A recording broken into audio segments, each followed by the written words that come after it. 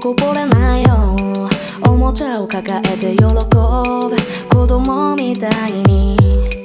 第一に僕にはもう取り柄なんてないからそう。君に喜んでほしくて一生懸命集めたよ。キラキラしてたりかっこよかったり世の中に溢れ返るものに。憧れていつか誰かに与えられたらいいなって。I think 嬉しく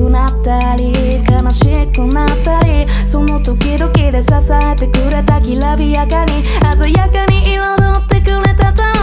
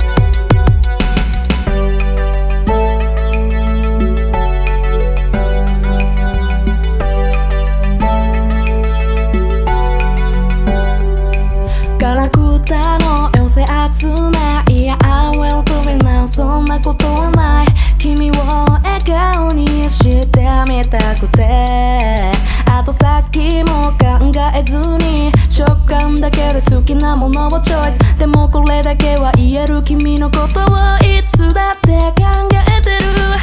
時には大切にしすぎてどこにしまったかわからなくなる。雑に扱いすぎたせいで不覚にも壊してしまうこともある。